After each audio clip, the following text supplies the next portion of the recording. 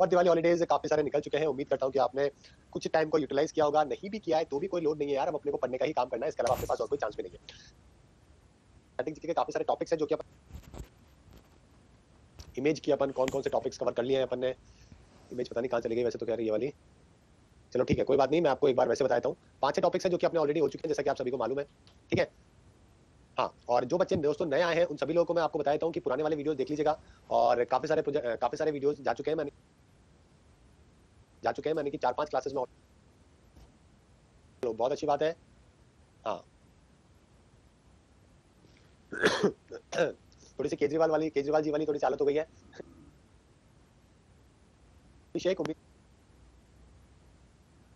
Important होगा। ना, जिसके अंदर ज़्यादा कंटेंट होगा, वो मैं हिंदी और इंग्लिश दोनों आपको अवेलेबल करवाऊँगा। ठीक है ना? तो ये टेंशन मत लीजिएगा, हिंदी या इंग्लिश का। ठीक है? तो ये दो चीज़ें हैं जो कि मैं आपको करवा दूँगा, टेंशन मत लो। ठीक है? चलो, शुरुआत करते हैं। आज हम जो पढ़ने वाले हैं दोस्तों, वो मेरे ख्याल से सिक्स या सेवन टॉपिक है। देख हैं कौन सा है। जो कि है रिवर सिस्टम हमारे देश का रिवर सिस्टम है, जो कि अपन पढ़ेंगे। ठीक है? मैं बहुत अच्छा हूँ, अभिषेक। उम्मीद करता हूँ आप भी बहुत अच्छे होंगे। अगर आवाज़ आवाज़ बिल्कुल सही आ रही है तो मुझे जल्दी से यस करके बता दो, और कोई प्रॉब्लम है तो नो करके बताओ। बिल्कुल सही है ना सब कुछ?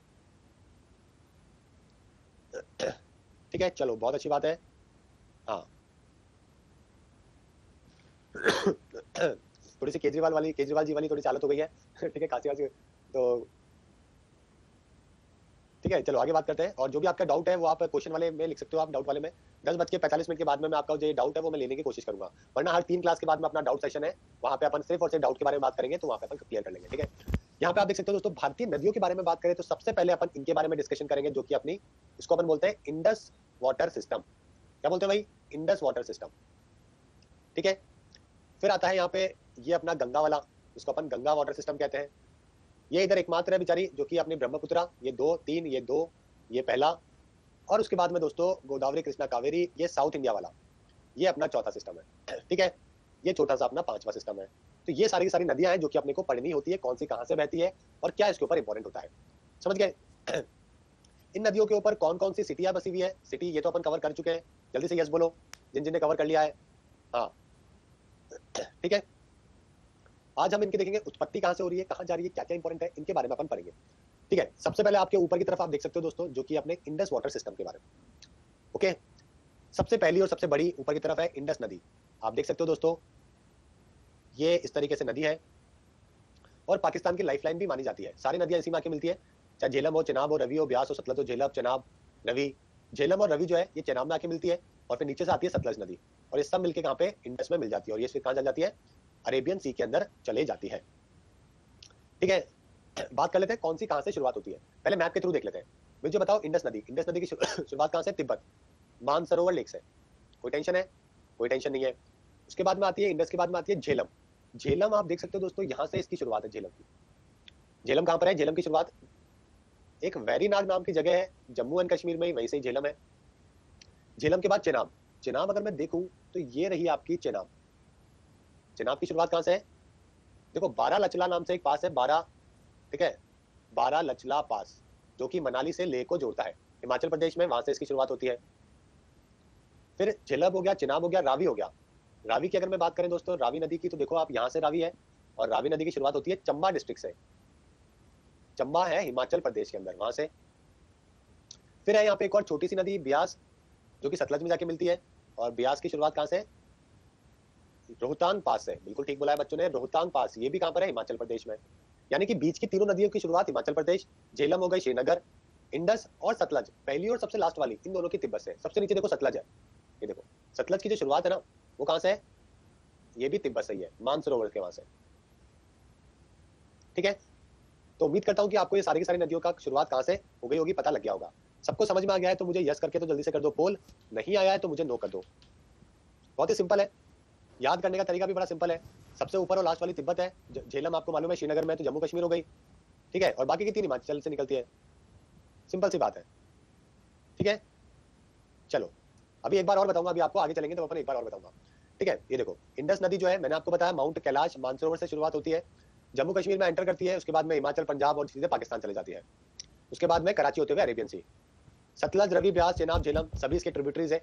पाकिस्तान में अगर आपसे पूछे तो जस्कर, नुब्रा और शौलिक और हुंजा नाम की नदियाँ हैं हालाँकि शौलिक नदी हमारे यहाँ पर भी है, नुब्रा वैली हमारे यहाँ पर भी है, लेकिन ये नॉर्मली पीओके वाले एरिया में भी देखने को मिलती है, इसीलिए आपको पाकिस्तान भी हम इसको कहते हैं।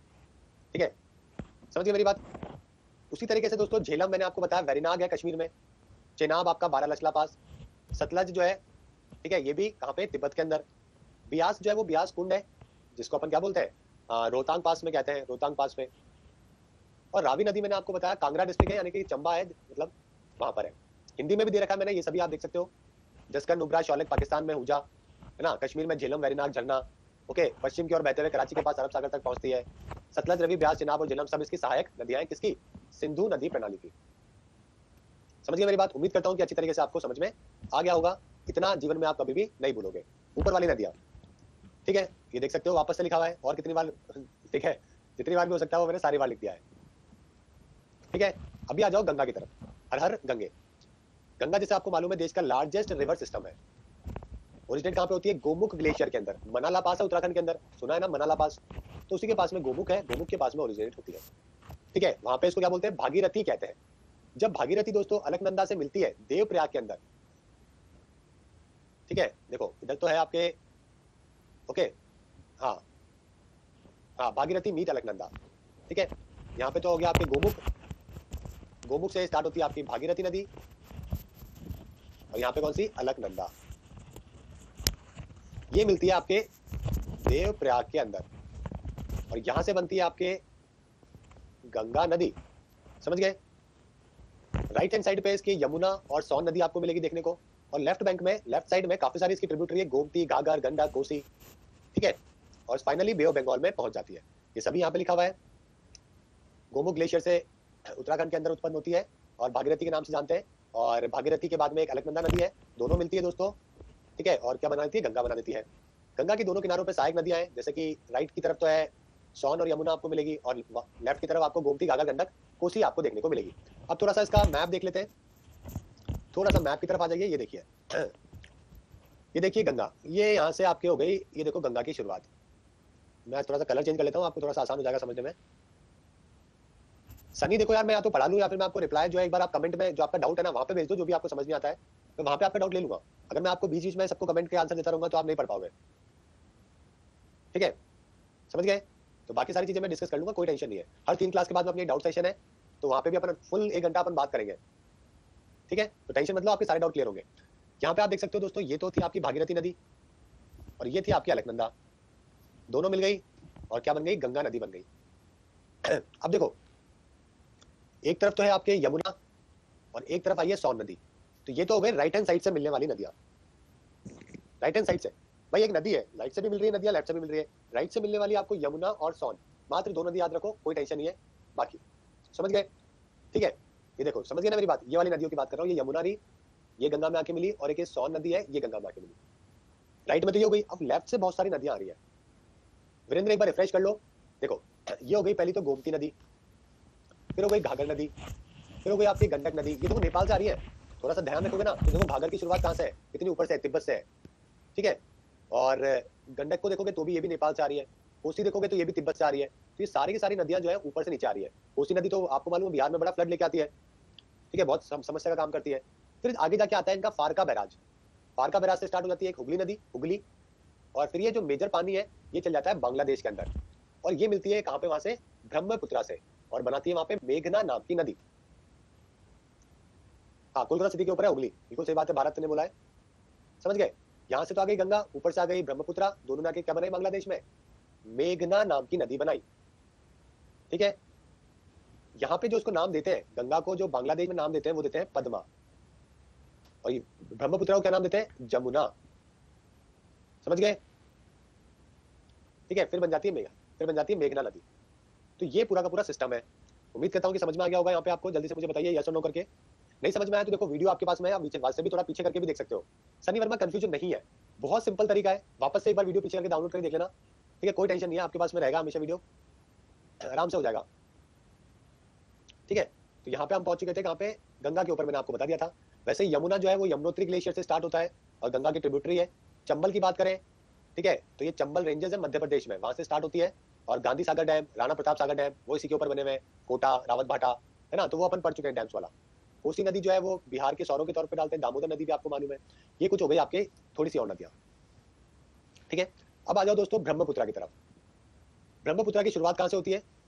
एँगी ग्लेशियर से होती है, तिब्बत के अंदर है एंगशी ग्लेशियर। तिब्बत ब्रह्मपुत्रा में दोस्तों उसको बोलते हैं सैंगपो नदी। क्या बोलते हैं? सैंगपो नदी। फिर ये ब्रह्मपुत्र अरुणाचल प्रदेश में प्रवेश करती है और अरुणाचल प्रदेश में ब्रह्मपुत्र को क्या बोलते हैं? दिहांग नदी बोलते हैं। फिर ये बहती गाती है, इस तरीके से, बीच में आता है माजुली आइलैंड। दुनिया की सबसे बड़ा आइलैंड है जो कि किसी नदी के ऊपर बना हुआ है। ठीक है? माजुली आइलैंड। और इसको वहाँ पे डिस्ट्रिक्ट भी घोषित किया हुआ है। इसी नदी के किनारे आपकी काजीरंगा है। ठीक है? और बाकी सब है। माजुली नदी पे एशिया का सबसे बड़ा द्वीप एशिया का नहीं, पूरी दुनिया का है पूरी दुनिया का है। ठीक है? दिखा देता हूँ ब्रह्मपुत्र थोड़ा सा आपको। ये देख सकते हो आप। शुरुआत कहाँ से हुई है? यहाँ से। इसको बोलते हैं सैंगपो नाम की नदी। फिर ये आ गई अरुणाचल में। फिर ये लोहित इसकी ट्रिब्यूटरी है सुबानसरी इसकी ट्रिब्यूटरी है, ये छोटी मोटी इसकी ट्रिब्यूटरी है, और इस प्रकार से बांग्लादेश में चले जाता है। ठीक है? ओके, दिहैंग और दिबांग में कोई अंतर नहीं है। दिहैंग, दिबांग इसकी ट्रिब्यूटरीज है, और अरुणाचल प्रदेश में इसको एक्चुअली के अंदर दिहैंग नाम से जाना जाता है। ठीक है? वहाँ पे इसको नॉर्मली दिहैंग नाम से भी जाना जाता है। समझ गए मेरी बात? तो ये भी आपको यहाँ पे ध्यान रखना है पेपर पॉइंट ऑफ़ व्यू से इंपॉर्टेंट है। ओके ठीक है? और कौन सी ब्रह्मपुत्रा की ट्रिब्यूटरीज है जो कि आपको ध्यान रखनी है? तिस्ता नदी आपको मालूम है, तिस्ता। तिस्ता हो गई, लोहित हो गई, दिबैंग हो गई, सुबान सिरी हो गई, मानस नदी भी है एक, है ना? तो ये कुछ नाम है जो कि आपको ध्यान रखना है। मैं लिख देता हूँ यहाँ पे। तिस्ता हो गई, सुबान सिरी हो गई, दिहैंग हो गई लोहित हो गई। समझ गए? तो ये कुछ ट्रिब्यूटरीज है और मानस हो गई। छोटी सी नदियाँ हैं। हाँ। ओके। सबसे लंबी नदी अगर भारत में पूछा जाए, इंडिया में दोस्तों तो गंगा है। लॉन्गेस्ट हमारी। और अगर आपसे वॉल्यूम के हिसाब से पूछा जाए तो आपकी हो जाएगी ब्रह्मपुत्रा। ब्रह्मपुत्रा में पानी जो है वॉल्यूम बहुत ज़्यादा है। समझ गए? ठीक है? अब आ जाओ अब नीचे की तरफ़। यानी कि जो पेनसुला रिवर सिस्टम है हमारा, नीचे की तरफ़ जो नदियाँ हैं। ओके वो देख लेते हैं एक बार। समझ गए?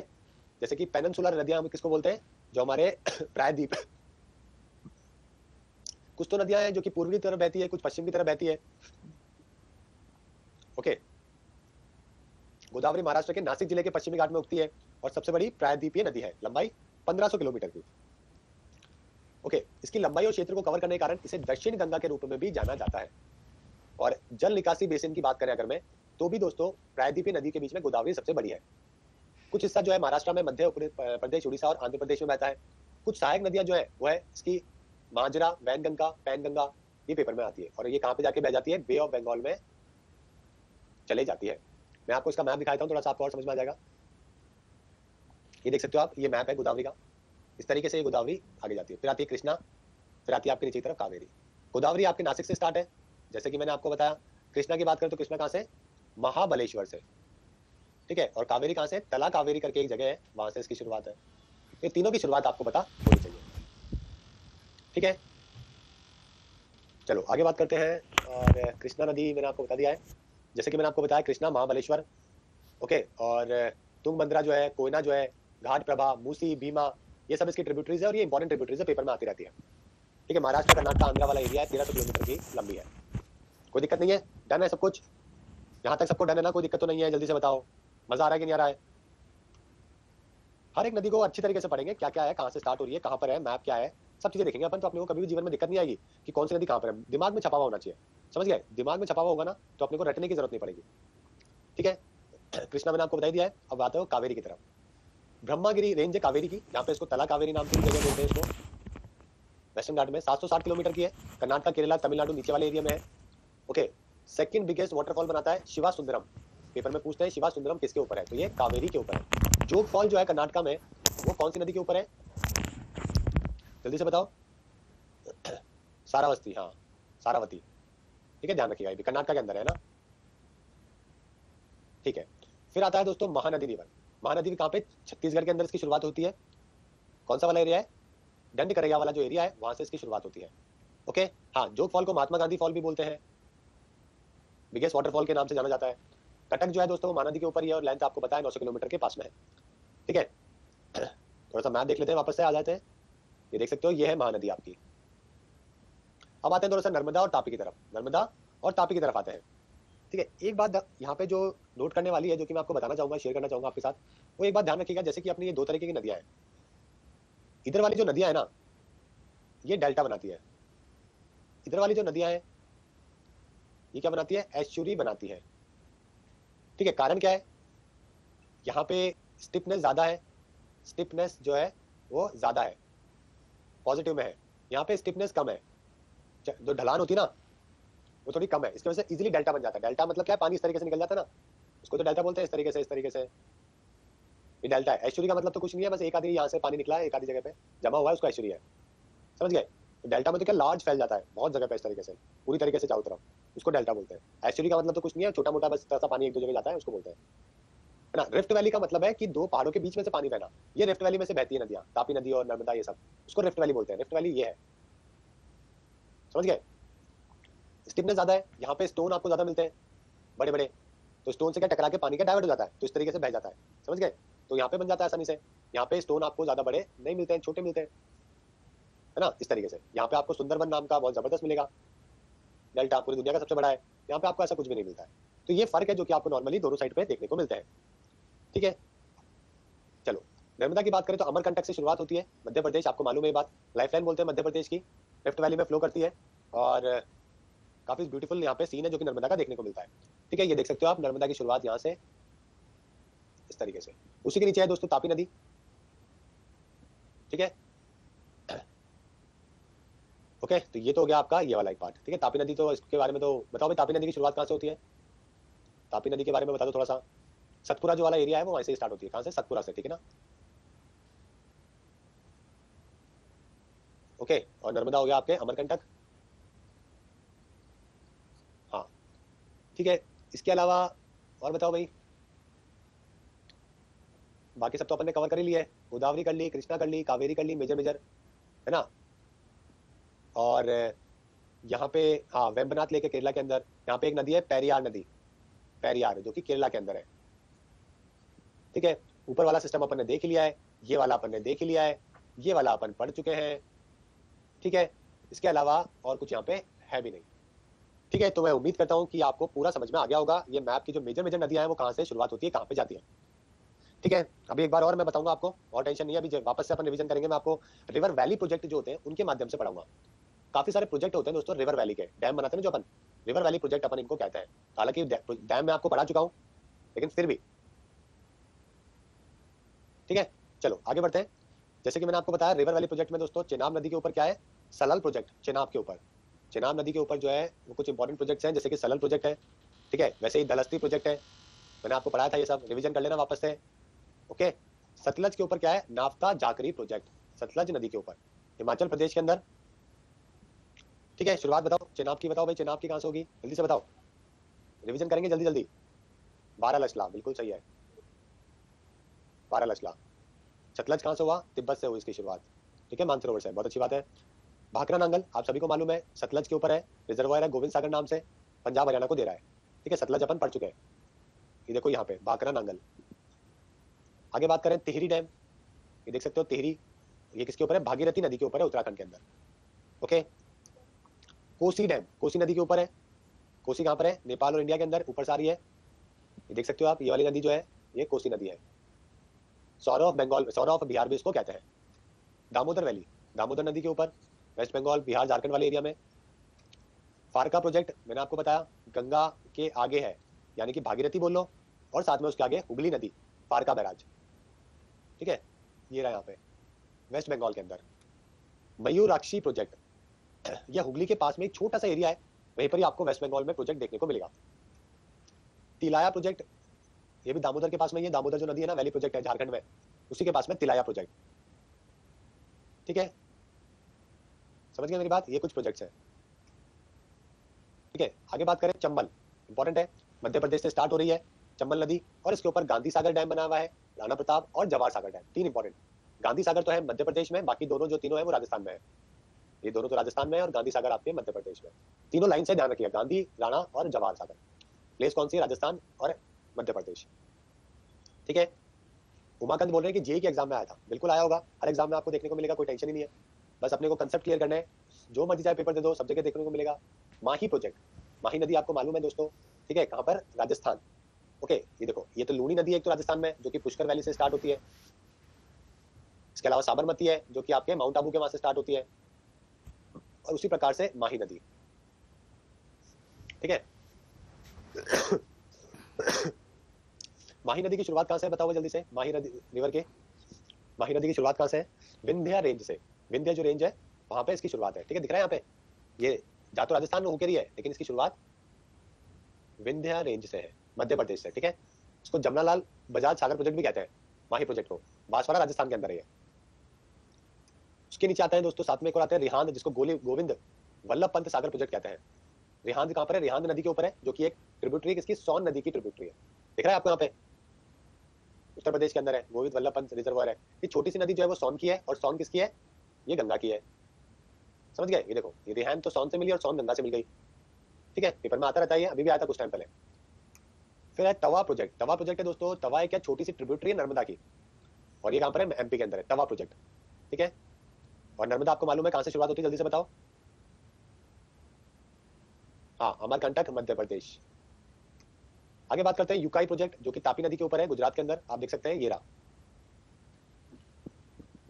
अभी आया था आपके एसएससी सीजीएल के अंदर ये सवाल। ये वाला रिसेंटली बता रहा हूँ, अभी 2019 का अभी एग्ज़ाम हुआ था ना, उसके अंदर आया था यूकाई प्रोजेक्ट जो है वो कौन सी नदी के ऊपर है? तो ये तापी हो जाएगा।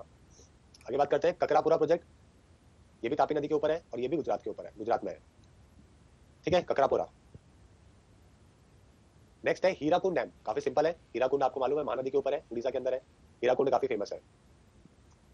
फिर है, मैकुंड प्रोजेक्ट मैकुंड प्रोजेक्ट दोस्तों, ये ट्रिब्यूटरी है गोदावरी की। ठीक है, गोदावरी की ट्रिब्यूटरी है, उसके ऊपर है गोदावरी बेसिन का पार्ट है, उड़ीसा आंध्र का। समझ गए? तो मैकुंड गोदावरी ध्यान रखिएगा। और पुचमपद प्रोजेक्ट है, जो कि तेलंगाना का लाइफलाइन मांगना जाता है। तेलंगाना के अंदर बहुत फ़ेमस है, श्री राम सागर प्रोजेक्ट है। ओके, निजामाबाद डिस्ट्रिक्ट के अंदर, वहाँ पे गोदावरी का ही है। श्री राम सागर प्रोजेक्ट के नाम से इसको जाना जाता है। पोलावरम प्रोजेक्ट बहुत फ़ेमस है दोस्तों, आंध्र प्रदेश की जान बोलते हैं इसको। काफ़ी जल्दी काम कराया गया इसका।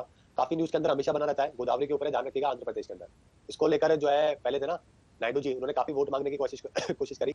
जनता ने दिए नहीं, वो बात अलग है। ओके नागार्जुना सागर प्रोजेक्ट कृष्णा नदी के ऊपर। गोदावरी के नीचे कृष्णा, नागार्जुना सागर, आंध्र प्रदेश, तेलंगाना के अंदर, ठीक है? देखो, कृष्णा सागर, ध्यान रखिएगा। वैसे मेथुर रिजर्वर भी इसी के ऊपर है। ओके कृष्णा के ऊपर। आरआरबी जेई क्वेश्चन आया, भारत ने बताया।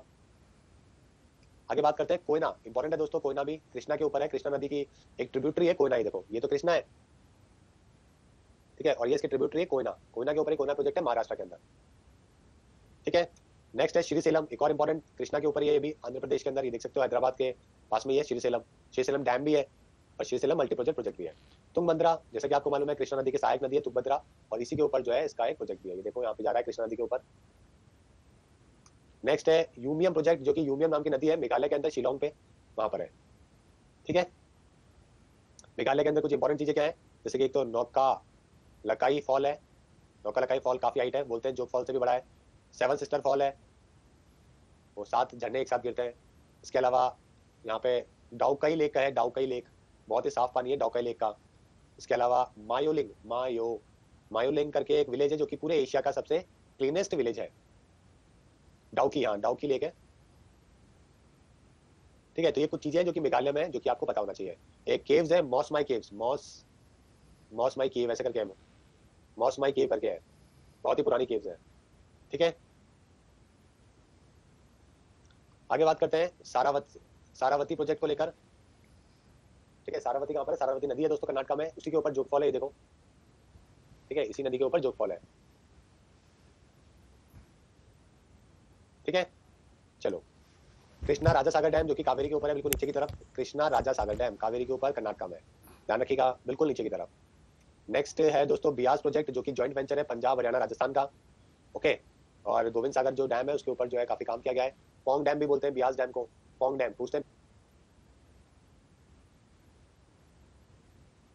डैम वैसे ही इंदिरा गांधी कैनाल है, जिसको राजस्थान कैनाल कहते हैं, और देश का सबसे बड़ा कैनाल है। बफरिंग हो रहा है क्या? इज़ एवरीथिंग ऑल राइट सब कुछ सही है क्या? सब कुछ सही है? रिफ्रेश कर लो एक बार, मैं भी कर लेता हूँ आपके लिए। ऐसी क्या बात है यार? येलो एक ठीक है, अभी सही है is everything all right now जल्दी से बताओ कमेंट करके मुझे यस yes करके बताओ।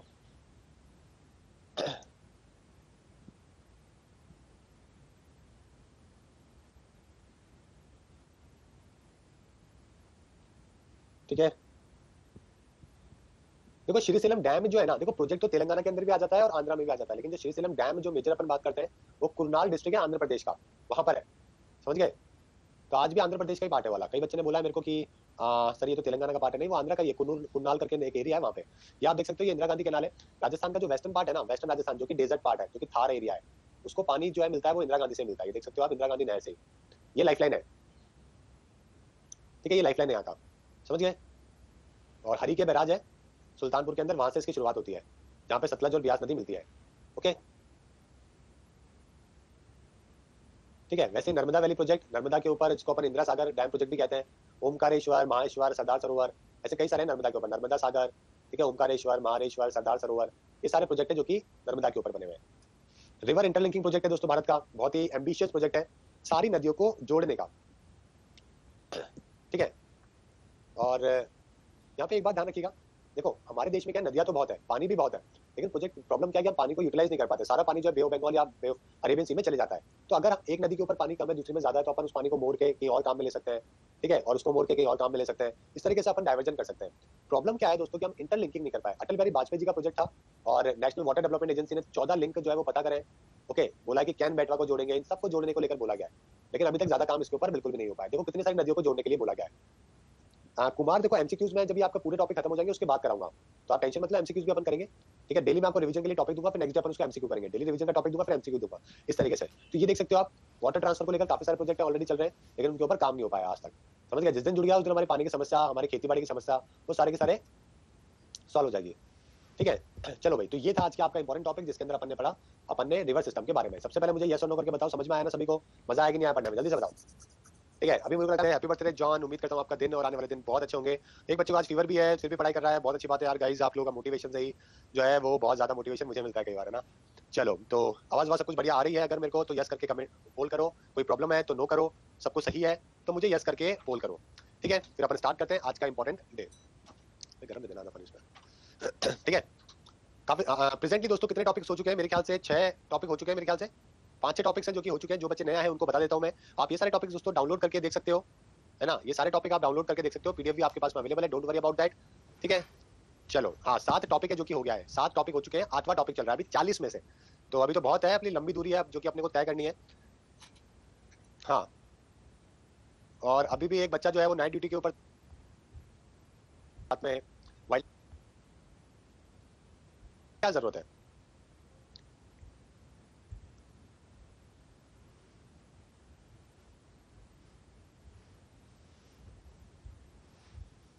यानी कि वाइल्ड लाइफ सेंचुरी बनाने की नेशनल पार्क बनाने की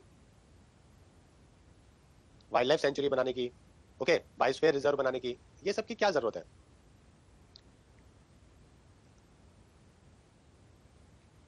टूरिस्ट के लिए पैसा कमाना, कोई बोल रहा है बेटर एनवायरमेंट कोई बोल रहा है स्पीशीज को।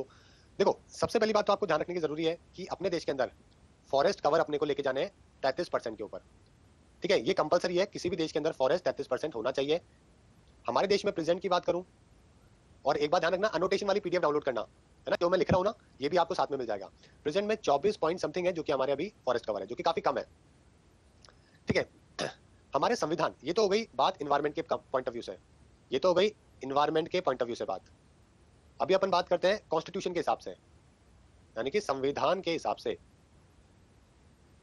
संविधान के अंदर आर्टिकल 21 क्या बोलता है? Right to have a right to life and personal liberty right to have a healthy environment healthy environment होना ज़रूरी है। हेल्दी इन्वायरमेंट भैया कैसे होगा? जब आपके जानवर अलग जगह पे रहेंगे, इंसान अलग जगह पे रहेंगे, जब, ठीक है, आपके फॉरेस्ट होगा, आपको बढ़िया हवा मिलेगी, समझ गए? हेल्दी इन्वायरमेंट ये तो है आपका फंडामेंटल राइट ये आपका मौलिक अधिकार है। उसी प्रकार से जो अपना आर्टिकल 48 ए है डायरेक्टर प्रिंसिपल का, उसके अंदर भी क्या लिखा हुआ है? Protection and improvement of environment and safeguarding of forest and wildlife ठीक है 42 कॉन्स्टिट्यूशन अमेंडमेंट 1976 के द्वारा ऐड किया गया था। मैंने इसमें एक बात बोली है safeguarding safeguarding of wildlife समझ गए? यानी कि हमें जानवरों का ध्यान रखना और उनको बचाना बहुत ज़रूरी है। समझ गए? यहाँ पे वाइल्ड लाइफ भी है और साथ में फॉरेस्ट भी है। तो यानी कि भाई आप इन्वायरमेंट के हिसाब से ले लो, संविधान के हिसाब से ले लो सेफ्टी के हिसाब से ले लो, आपको कुछ ऐसी जगह बनानी पड़ेगी जहाँ पे इंसान और जानवर दोनों अलग अलग जगह पे रह सके। समझ गए मेरी बात? इंपॉर्टेंट बात है ठीक है, अभी आप कुछ सोचो। शेर अगर रोड पे आ जाएगा तो क्या होगा? शेर की दहाड़ लोगों को हार्ट अटैक दिलाने के लिए बहुत है। ठीक है? मारने की ज़रूरत नहीं है, उसको अटैक करने की ज़रूरत नहीं है। शेर का वेट जो है वो 200 200 किलो का होता है, जब वो खड़ा होता है तो छह फीट का हो जाता है। अगर शेर को कोई पास से देख लेना तो भी उसको हार्ट अटैक आ सकता है। ठीक है? सेल्फी हेल्फी तो दूर हो जाएगी। ओके तो इसीलिए हमेशा, जैसे कि अगर कोबरा है कोबरा का अगर फू भी कर दिया उसने तो भी आदमी जो है वो हॉस्पिटल पहुँच जाएगा। तो भाई, इसीलिए क्या होता है कि वाइल्ड लाइफ को प्रोटेक्ट करना बहुत ज़रूरी है। समझ गए? चलो, उम्मीद करता हूँ इतनी बात आपको समझ में आ गई होगी। अब मैंने यहाँ पे एक पहली बात बोली थी फॉरेस्ट को लेकर, कि ये फॉरेस्ट हमें तैतीस परसेंट करना है। अब भाई साहब, ये फॉरेस्ट क्या होता है? फॉरेस्ट जो है, वो क्या होता है? फॉरेस्ट की भी कोई डेफिनेशन होती होगी। देखो दोस्तों, होता क्या है कि जो भी अगर कैनोपी एरिया कैनोपी एरिया भी समझाऊँगा क्या होता है? टोटल एरिया के 10 परसेंट या ज़्यादा होता है तो हम उसको बोलते हैं फॉरेस्ट जैसे कि मैंने यहाँ पे पेड़ उगाए एक हेक्टेयर एरिया के अंदर। एक हेक्टेयर के एरिया में मैंने पेड़ उगाए। अब मैंने यहाँ पे भाई पेड़ उग गए पेड़ उग गए? कई पेड़ का बहुत बड़ा भी एरिया होगा इस तरीके से। तो कैनोपी एरिया का मतलब है जो ये छाव वाला जो एरिया है ना, इसको अपन बोलते हैं कैनोपी एरिया जैसे ये वाला एरिया है, इसको अपन बोलते हैं कैनोपी एरिया ये वाला एरिया है, ठीक है? अगर ये एरिया टोटल एरिया से 10 परसेंट या ज़्यादा हो जाए तो हम उसको नाम देते हैं दोस्तों फॉरेस्ट यानी कि जंगल। समझ गए? ठीक है? सभी बच्चों को समझ में आ गया ना? जल्दी से मुझे यस और नो करके बताओ। हाँ ट्री के साइड वाला एरिया ट्री का टोटल जैसे मान लो ट्री की छाव आती है ना, जहाँ जहाँ पे? जहाँ जहाँ पे छाव आती है ट्री की। समझ गए? जिस जो कैनोपी वाला एरिया जहाँ तक उसके पेड़ निकल रहे हैं, वो वाला जो एरिया है। ठीक है? वो। हाँ शेडो एरिया कह सकते हो आप इसको, या फिर जो, जैसे कि ये पेड़ होगा तो ये वाला जो एरिया है ना, जहाँ तक इसकी छाव जा रही है, इस एरिया की बात कर रहा हूँ। समझ गए? ठीक है? चलो ठीक है, बहुत अच्छी बात है, आपको समझ में आ गया। ये होता है फॉरेस्ट समझ गए बात को? फॉरेस्ट क्या होता है? फॉरेस्ट की ज़रूरत क्यों पड़ती है? इन्वायरमेंट के हिसाब से, संविधान के हिसाब से, उसी चीज़ों को लेकर हमने क्या बनाना चालू किया? नेशनल पार्क को बनाना चालू किया। ठीक है? हमने क्या बनाए नेशनल पार्क बनाए देखो, सबसे बड़ा जो होता है, वो होता है बायोस्फेयर रिज़र्व सबसे बड़ा होता है बायोस्फेयर रिज़र्व ये है बायोस्फेयर रिज़र्व सबसे बड़ा एरिया उसके बाद होता है दोस्तों नेशनल पार्क फिर होता है उससे छोटा वाइल्ड लाइफ सेंचुरी समझ गए? कई सारे नेशनल पार्क ज़्यादा कई सारे wild life sanctuary national park में होते हैं नेशनल पार्क जो है बायोस्फीयर रिज़र्व वाले एरिया के अंदर होते हैं। समझ गए? बायोस्फीयर रिज़र्व का एरिया भी तीन पार्ट में डिवाइड होता है। एक तो होता है बफर एरिया जहाँ पे आप इंसान जा सकता है, काम कर सकता है है ना चिल कर सकता है चिल करने वाला एरिया बफर जोन कहते हैं इसको। फिर ये जो बीच वाला एरिया होता है बायोस्फीयर रिज़र्व का ओके ठीक है, आज का टॉपिक क्या है? आज का टॉपिक है national park biosphere reserve wildlife sanctuary okay है ना, समझ में आए बायोस्फीयर रिज़र्व एक बहुत बड़ा एरिया है, जहाँ पे अपन क्या करते हैं? हमारे इन्वायरमेंट को ध्यान रखने की कोशिश, ध्यान रखते हैं। बायोस्फीयर रिज़र्व में दोस्तों, हर एक चीज़ का ध्यान रखा जाता है। जैसे कि इंसान का एनिमल का अपने प्लांट्स का साथ में माइक्रो ऑर्गेनिज्म का छोटी छोटी से लेकर बड़ी बड़ी चीज़ें, सबका ध्यान रखा जाता है बायोस्फीयर रिज़र्व के अंदर।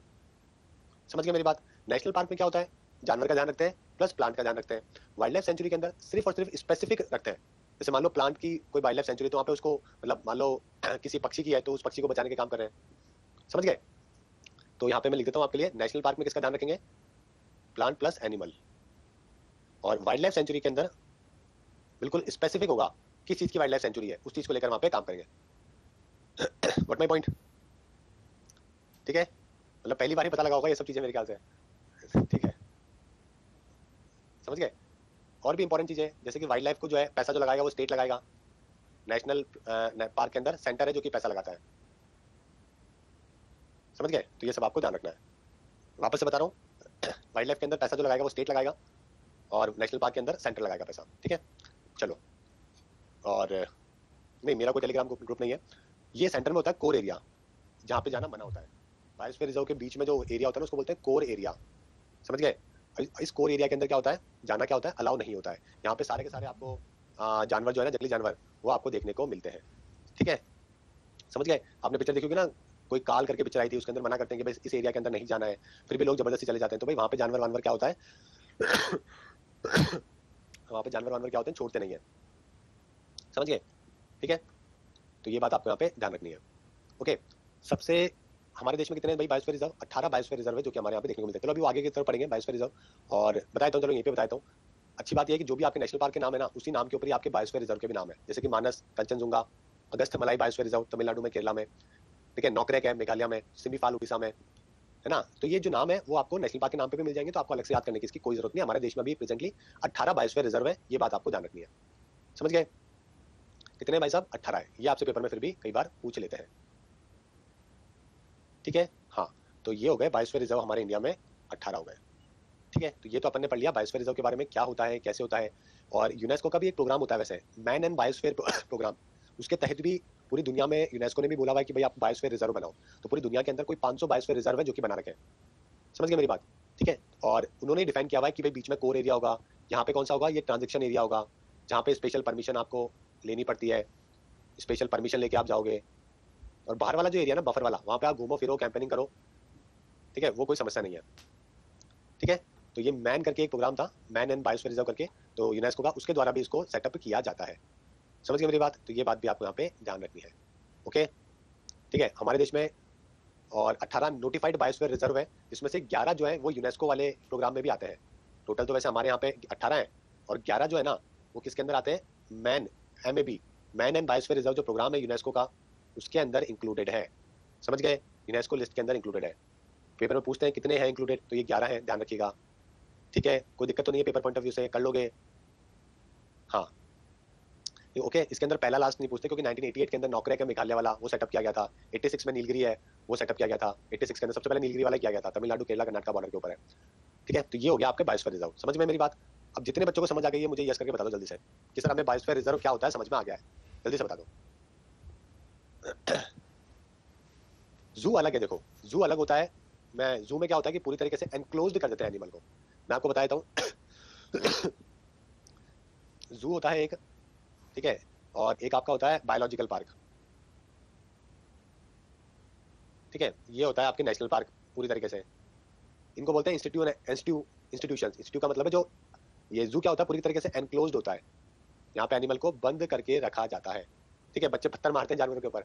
शेर चीते के ऊपर पत्थर मारते हैं, वो कुछ नहीं कर पाता समझ गए ना? ये जू है। बायोलॉजिकल पार्क क्या होता है दोस्तों? ये दोनों का वो है ये। जू का प्लस नेशनल पार्क का। दोनों का एक कॉम्बिनेशन है। इसके अंदर क्या होता है कि थोड़ा ओपन होता है ये। ओपन भी होता है और एनक्लोज भी होता है। इसमें क्या होता है? जैसे कि यहाँ पे शेर रह रहा है। इस एरिया में शेर रह रहा है ना? तो बीच में खाई बनाए थे। और यहाँ पे जनता आके देख सकती है। तो आपको फील आएगा बिल्कुल रियल यार हाँ यार, शेर मुझे नज़र आ रहा है। लेकिन आपको कैद में रहते हुए नज़र नहीं आएगा। शेर के पास में जगह होती है यहाँ पे घूमने फिरने की बढ़िया आराम से कोई दिक्कत नहीं है। समझ गए? नेशनल पार्क पूरा खुला मामला है। यहाँ पे तो भाई, ठीक है, कुछ भी हो सकता है, अटैक भी हो सकता है, कुछ भी हो सकता है। ठीक है? समझ गए? तो ये पूरा का पूरा ओपन है, जंगल है ये तो पूरा का पूरा। यहाँ पर रियल आपको हंटिंग करते हुए जानवर मिलते हैं। ठीक है? तो ये पूरा का पूरा तीन पार्ट्स और हैं जो कि आपको नॉर्मली देखने को मिलते हैं। समझ गए मेरी बात? चलो। आगे समझ में बायोस्फीयर रिज़र्व को भी सेंटर ही पैसा देता है। बड़ा है ना बायोस्फीयर रिज़र्व तो भी सेंटर ही देगा। और किसी की बस की बात यहाँ पे नहीं है, उसको टैकल करने की और समझ गए?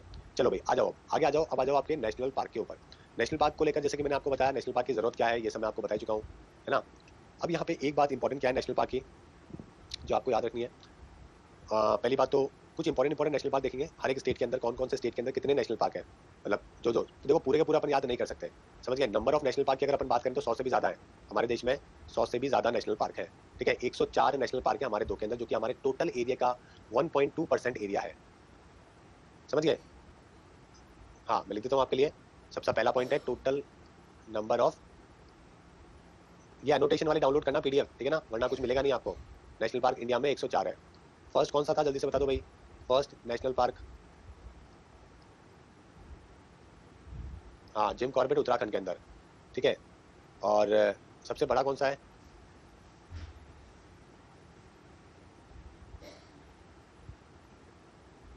सबसे बड़ा कौन सा है बिगेस्ट हैमिस नेशनल पार्क कहाँ पर है जम्मू एंड कश्मीर के अंदर लद्दाख वाले एरिया में ठीक है सबसे स्मॉलेस्ट कौन सा है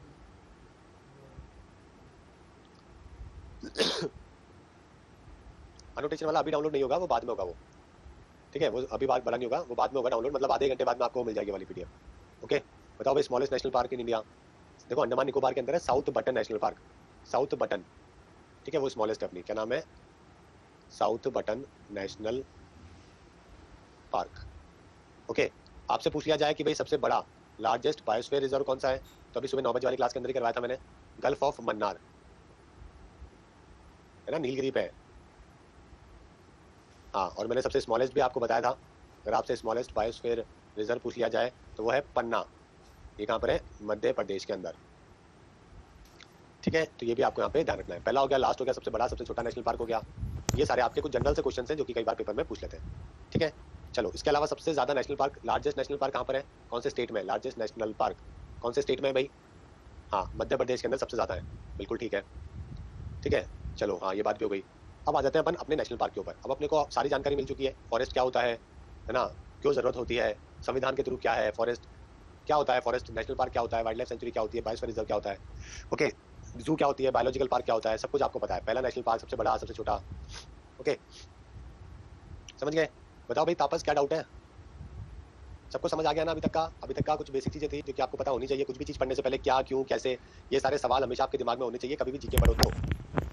ठीक है? समझिए मेरी बात जीके का पढ़ने का मज़ा तभी है, तब आप समझो जीके को कि ऐसी चीज़ क्यों होती है? ऐसी चीज़ बनने का कारण क्या है? समझ गए? रैमसर साइड्स अलग होती है, वो सब पढ़ेंगे, अभी आ जान दो धीरे सब पढ़ लेंगे अपन। सुबह मैं आपको बता चुका हूँ, एक बार फॉरेस्ट किसे कहते हैं, एक बार पीछे जाके आप वीडियो देख सकते हैं डाउनलोड करके। मेरे एक्सपीरियंस के हिसाब से बेस्ट बायोस्फीयर रिज़र्व पूछ रहा है एक बच्चा। क्या देखो, अगर मैं बात करूँ बेस्ट बायोस्फीयर रिज़र्व की जिनमें मैं, जिनमें गया हूँ, अगर उनकी बात करूँ ठीक है तो मेरे हिसाब से बेस्ट लोकेशन कैंपेनिंग के लिए, देखने के लिए हिसाब से। एक तो मेघालय वाला बहुत अच्छा है। ठीक है, वो मैंने विज़िट किया हुआ है, मेघालय वाला। रन ऑफ़ कच्चे बहुत अच्छा है। ठीक है, नंदा देवी में गया नहीं हूँ, इसके अलावा सिक्किम वाला भी देखा नहीं है मैंने। मेघालय वाला देखा हुआ है, वो बहुत अच्छा है, वो देख सकते हो आप, नौकरी करके जो है ना, वो अच्छा है और रन ऑफ़ डिफरेंट है रन ऑफ़ कच्चे बहुत डिफरेंट है। डेजर्ट है पूरा व्हाइट डेजर्ट के तौर पर वो आपको बहुत अच्छा लगेगा। ठीक है चलो, आगे बात करते हैं। अब अपन चलते हैं अपने नेशनल पार्क की तरफ़। कौन से राज्य में, कौन से नेशनल पार्क है, ये देख लेते हैं। ये पहला मैप है, आप समझ सकते होंगे डाचिकम कहाँ पर है? जम्मू एंड कश्मीर के अंदर है श्रीनगर के पास में। कॉर्बेट आपको पता है केलियोदेव राजस्थान रणथम्बोर राजस्थान, संजय गांधी नेशनल पार्क कहाँ पे Mumbai, Maharashtra. Okay, Mudumalai national park Tamil Nadu Periyar है आपके केरला के अंदर। मधुमलाई, तमिलनाडु। और वेम्बनाथ जो है, वेम्बनाथ। बताओ भाई, वेम्बनाथ कहाँ पर है? वेम्बनाथ नहीं है तो कुछ और ही नाम लिखा हुआ है। सुंदरबन आपको है वेस्ट बंगाल के अंदर है, कान्हा, मध्य प्रदेश के अंदर, मानस, आसाम में, काजीरंगा जो है, ये भी आपके सिक्किम के अंदर है, काजीरंगा सिक्किम के अंदर। ठीक है तो ये कुछ मैप आपको नज़र आ रहा है। अब मैं आपको वाइल्ड लाइफ सेंचुरी और नेशनल पार्क दोनों एक साथ ही करवा रहा हूँ, हर एक स्टेट के। अपन wildlife sanctuary plus national park एक साथ ही करेंगे, ताकि कोई दिक्कत नहीं आएगी। ओके ठीक है, और, एक बात और मुझे बताओ कि अपने देश के अंदर वाइल्ड मैंने आपको बायोस्फीयर रिज़र्व भी बता दिया कितने हैं। मैंने आपको नेशनल पार्क कितने ये भी बता दिया ये बताओ मुझे कि number of wildlife sanctuaries जो है, वो कितनी है अपने यहाँ पे वाइल्ड लाइफ सेंचुरीज कितनी है?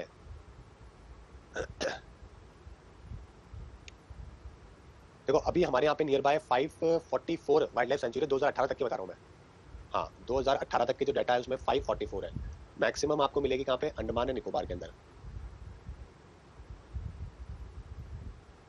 मैक्सिमम सौ से ज़्यादा है यहाँ पे अकेले ही सौ से ज़्यादा है। समझ गए? तो ये भी ध्यान रखिएगा। चलो, आसाम की बात करें सबसे पहले, काजीरंगा आपको मालूम है, नेशनल पार्क, दिब्रू शिकोकोई मानस, नामेरी और राजीव गांधी और नेशनल पार्क। देखो, एक बात ध्यान रखना, अगर आपसे सिर्फ़ और सिर्फ़, अगर आपसे संजय गांधी पूछे तो संजय गांधी तो है महाराष्ट्र में। ठीक है? और राजीव गांधी पूछे तो आपसे आएगा Assam answer. Wildlife sanctuaries में ये तीनों इंपॉर्टेंट नहीं है। जो इंपॉर्टेंट है वो मार्क कर दूँगा, वरना बहुत सारी हो जाएगी आपको याद करने के लिए। ईस्ट कार्बी ठीक है? वाइल्ड लाइफ सेंचुरी, ये आसाम के अंदर है। बिहार में एक ही नेशनल पार्क इंपॉर्टेंट है, वाल्मीकि नेशनल पार्क ठीक है, इसके अलावा Gautam Buddha wild life sanctuary है, पंथ, और वाइल्ड लाइफ सेंचुरी वाल्मीकि के नाम से वाइल्ड लाइफ सेंचुरी भी है। ठीक है, बिहार के अंदर। छत्तीसगढ़ की बात करते हैं। इंद्रावती नेशनल पार्क इंपॉर्टेंट है। कैंगर वैली इंपॉर्टेंट है गुरु घासीदास इंपॉर्टेंट है। तीनों के तीनों इंपॉर्टेंट है, ध्यान रखिएगा।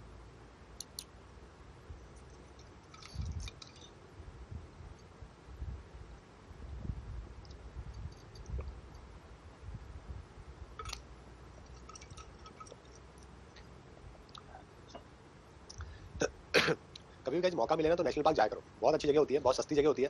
पैसे वैसे लगते नहीं, बहुत कम पैसे लगते हैं। लेकिन काफ़ी अच्छा आपको एक्सपीरियंस मिलेगा। ठीक है?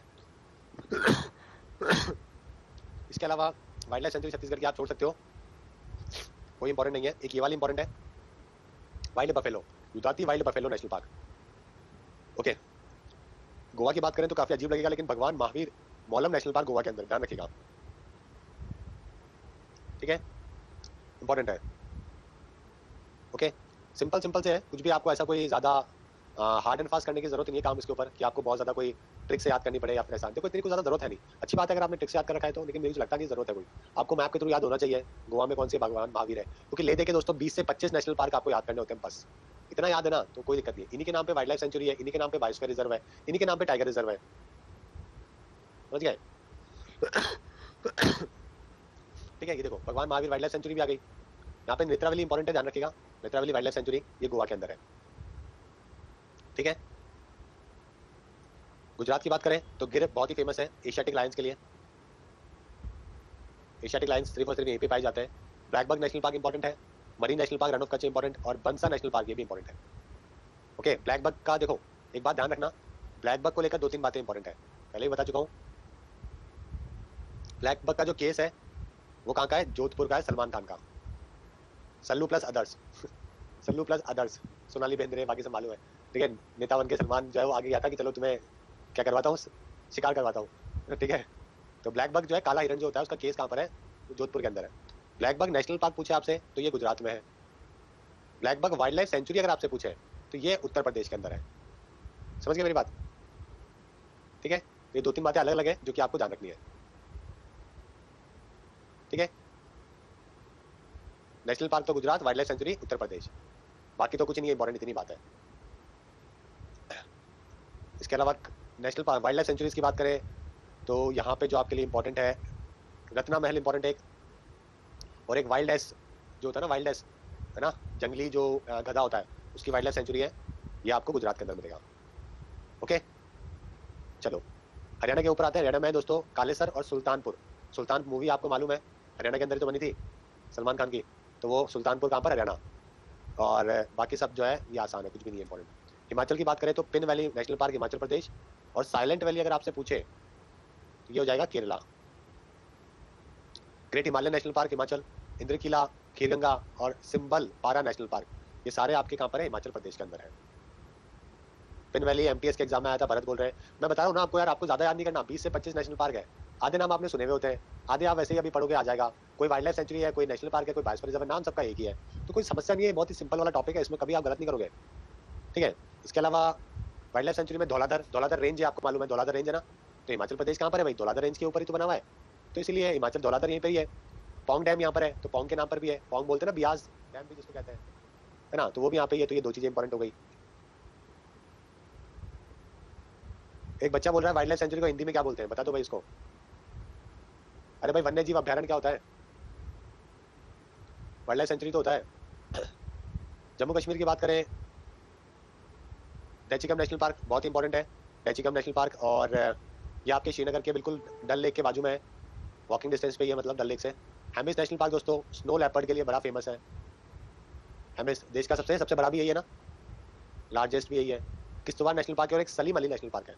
सलीम अली कौन थे? एंथ्रोपोलॉजिस्ट थे। बर्ड के ऊपर रिसर्च करते थे। ध्यान रखिएगा सलीम अली अगर आपसे बर्ड सेंचुरी पूछे तो ये कहाँ पर है? गोवा के अंदर है। बर्डमैन ऑफ़ इंडिया भी बोलते हैं। रोबोट दो ठीक है?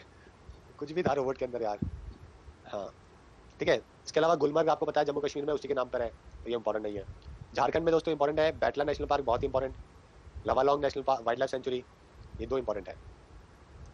कर्नाटका जाओ भाई। कर्नाटका में डांडेली नागरहोल बांदीपुर बहुत इंपॉर्टेंट है। बनरघट्टा बहुत इंपॉर्टेंट है, कुद्रमुख बहुत इंपॉर्टेंट है, अंशी बहुत इंपॉर्टेंट है, नागरहोल इंपॉर्टेंट है, ये सारे के सारे नेशनल पार्क है। ओके ठीक है? कर्नाटका बहुत इंपॉर्टेंट है। पेपर में खूब आता है कर्नाटक के सवाल। वाइल्ड लाइफ सेंचुरी की बात करें तो ब्रह्मागिरी इंपॉर्टेंट है। तो आपको मालूम है ब्रह्मागिरी से गोदावरी कृष्णा कृष्णा नदी स्टार्ट होती है है ना?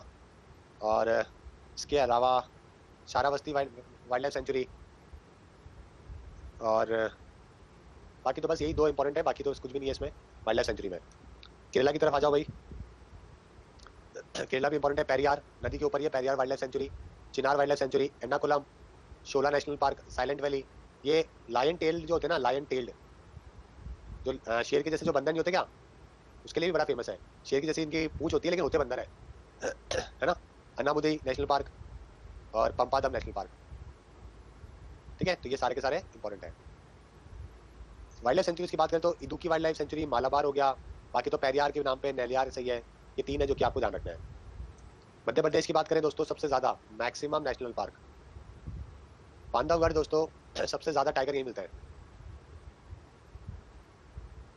और इसी स्टेट में मैक्सिमम टाइगर भी है। मैक्सिमम टाइगर स्टेट भी यही है। पहले कर्नाटका होता था भी है ना? ठीक है? पंच नेशनल पार्क काना पन्ना, माधव, मांडला और पंच के नाम से नेशनल पार्क हो गया, संजय हो गया, संजय नेशनल पार्क। ओके, और सतपुरा हो गया, वन विहार हो गया। तो ये वन विहार देखो इंपॉर्टेंट कौन कौन से है? वन विहार, सतपुरा, पंच, कान्हा और बांधवगढ़। ठीक है? तो ये भी आपको यहाँ पे ध्यान रखना है। समझ गए मेरी बात? Okay paper point of view से इंपॉर्टेंट है, और इसमें से अक्सर जो है आपको सवाल देखने को मिल जाते हैं। ठीक है? बेसिकली नॉन नेशनल पार्क है जो कि आपको देखने को मिलता है मध्य प्रदेश के अंदर। ठीक है? और वाइल्ड लाइफ सेंचुरी से तो कोई ज़्यादा सेंचुरी आता नहीं है वैसे। वाइल्ड लाइफ सेंचुरी से तो कोई ऐसा सवाल आता नहीं है वैसे। टाइगर रिज़र्व भी छः वैसे यहाँ पे, है ना? नेशनल पार्क तो नौ है ही, लेकिन टाइगर रिज़र्व भी छः है। वाइल्ड लाइफ सेंचुरीज भी बहुत सारी है। तो इसलिए आपको ये पता होना संजय नेशनल पार्क यहीं पर भी है, यहीं पर ही है। संजय गांधी की बात नहीं कर रहे हैं संजय की बात कर रहे हैं। संजय नेशनल पार्क ऐसे तो गांधी सागर सेंचुरी भी है यहाँ पे, लेकिन वो इंपॉर्टेंट नहीं है। एक और सेंचुरी यहाँ पे अपने डिस्कस नहीं करी ना भी यहाँ पे सेंचुरी की तरफ़ चलते हैं देखो। सेंचुरी यहाँ पे, एक तो वैसे गांधी सागर आप याद कर सकते हो गांधी सागर डैम भी तो है यहाँ पे पड़ा है ना हमने डैम चंबल नदी के ऊपर है। उसी के नाम पे है तो कोई दिक्कत नहीं याद करने में। कूनो ये बहुत इंपॉर्टेंट है Kuno national wild life sanctuary और ये घड़ियाल वाली घड़ियाल के ऊपर जो है वो एक, एक ही है ये। घड़ियाल नहीं होते क्या? उसके जैसे मगरमच्छ जैसे। एक बच्चा बोल रहा है कब पढ़ा दिया डैम बच्चों डैम पढ़ा चुका हूँ पहले एक बार देखना पहले वाले वीडियोस में ना। हाँ क्रोकोडाइल जैसा जो होता है ना तो वो ये भी यही पर ही है इसकी। हालाँकि चंबल के अंदर खूब मिलते हैं आपको ये घड़ियाल उड़ियाल ठीक है? चलो महाराष्ट्र की बात करें संजय गांधी। ताडोबा और गु गामल ये तीन आपके लिए इंपॉर्टेंट है। नवा गाँव भी आ, आ जाता है वैसे तो पेपर में कई बार। ये तीन चार आपको ध्यान रखना है। हाँ एक तो संजय है देखो वो तो आपके है मध्य प्रदेश में। एक संजय गांधी है वो आपके महाराष्ट्र में मुंबई के पास में। बोरीवली जो है ना वहाँ पर। समझ गए? वाइल्ड लाइफ सेंचुरी की बात करें तो great Indian bustard wild life sanctuary important है। कोयना इंपॉर्टेंट है पैन गंगा और बस ये तीन इंपॉर्टेंट है बाकी तो नहीं है कुछ भी। यार हिंदी का क्या करोगे? शिव यार इसमें हिंदी की क्या ज़रूरत है? गाइज़ इसके अंदर भी हिंदी की ज़रूरत है क्या? नाम लिखे हुए यार हम नाम भी नहीं पढ़ोगे तो कैसे काम चलेगा? क्या कर रहे हो? बिल्कुल बच्चों वाली चीज़ है, इसमें भी इतना करोगे तो फिर कैसे काम चलेगा यार बताओ। मणिपुर पे आ जाओ भाई केलफुल लैमजो नेशनल पार्क बहुत इंपॉर्टेंट एकमात्र floating national park of India ठीक है? और ये लॉकटक लेक नहीं क्या आपने? लॉकटक लेक का नाम सुना होगा ना? हाँ तो बस लॉकटक लेक के अंदर ही है ये केलफुल लैमजो मणिपुर के अंदर। ओके, ये वाली इंपॉर्टेंट नहीं मेघालय का है। बलपक्रम नेशनल पार्क इंपॉर्टेंट है। साथ में नॉकरैक है ना? बायोस्फीयर रिज़र्व जो है। ठीक है, मिजोरम की बात करें तो माउंटेन नेशनल पार्क है, एक यहाँ पे important blue national park important है नौकरेक मिजोरम के अंदर सॉरी हाँ यहाँ पे मिजोरम है नौकरेक वाला जो है ना, मिजोरम लिखना ये रहा, मिजोरम नेशनल पार्क नौकरेक ये रहा, मिजोरम के अंदर ओके इसके अलावा तो बस ये तीन चार है पिक्चर प्लांट भी है पिक्चर प्लांट होता है ना, ये नॉन वेज होता है, ये प्लांट पता है ना, ये क्या होता है कि छोटे छोटे इंसेक्ट्स है ना, उसको खा लेता है पिक्चर प्लांट बोलते हैं इसको इंसेक्ट ईटर है है ना? तो ये नौकरी बायोस्फीयर रिज़र्व भी है नेशनल पार्क भी इसलिए आपको बता रहा हूँ कि नाम एक जैसे होते हैं। एक ही होते हैं तो आपको दिक्कत नहीं आती कभी याद करने में। ठीक है? चलो, नागालैंड की तरफ़ दोस्तों, इंतांग की इंपॉर्टेंट है। बाकी इंपॉर्टेंट नहीं है। उड़ीसा दोस्तों Similipal important Bhitarkanika important Chilika important Satkosia important है। ये चार नाम आपको उड़ीसा से ध्यान रखने हैं। फाकिम भी ठीक है वैसे, फाकिम भी आप कर सकते हो। फाकिम भी ठीक है वैसे। ये आपको वैसे नॉर्थ ईस्ट का कोई पेपर दे रहे हो बंगाल का पेपर दे रहे हो तो उस वाले एरिया के अंदर ये सवाल आ सकता है। बाकी नॉर्थ इंडिया का कोई पेपर है सेंटर का कोई पेपर है तो वहाँ पे आपसे नहीं पूछेंगे। उड़ीसा वेस्ट बंगाल आसाम से मैं आप बिलोंग करते हो तो ये फाकिम पूछा जा सकता है। वहाँ पे थोड़ा ये नाम सुना जाने वाला है, बाकी जगह तो किसी को हवा भी लगेगी। ठीक है? पंजाब की बात करें तो हरी के लेक इंपॉर्टेंट है यहाँ पे वाइल्ड लाइफ सेंचुरी भी है। ठीक है? बाकी तो अबोर तो आपको सिटी का नाम है अबोर तो। उससे तो आपको वैसे पता लग जाएगा। राजस्थान दोस्तों Keoladeo bird sanctuary Siberian crane जो है ना, उसके लिए बहुत फ़ेमस है। भरतपुर नेशनल पार्क है। सरिस्का नेशनल पार्क हो गया रणथम्बो नेशनल पार्क हो गया Darrah national park, desert national park, है ना? तो ये सब आपको ध्यान रखना है, ठीक है? सरिस्का और रणथम्बोर के नाम पे टाइगर रिज़र्व भी है। ठीक है? चलो, इसके अलावा बात करूँ अगर मैं वाइल्ड लाइफ सेंचुरी की तो Keoladeo wild life sanctuary important है, Ramsar wild life sanctuary Sita बाकी सब इंपॉर्टेंट नहीं है। दो आपको नाम है जो कि राजस्थान से याद करना है, ठीक है? गांध, जवाहर सागर नहीं है इंपॉर्टेंट सिक्किम की बात करें, कंचनजुंगा दोस्तों, बहुत इंपॉर्टेंट है। हाँ भाई, चंदन शर्मा रेलवे में यहीं से आएगा। बाकी इंपॉर्टेंट वैसे नहीं है, नहीं भी करोगे तो भी चलेगा। सीता माता देखो, राजस्थान के पेपर के अंदर पूछा जाता है सेंटर के रेलवे के एग्ज़ाम में नहीं आएगा। तमिलनाडु की बात करें तो मधुमलाई, इंदिरा गांधी, ठीक है?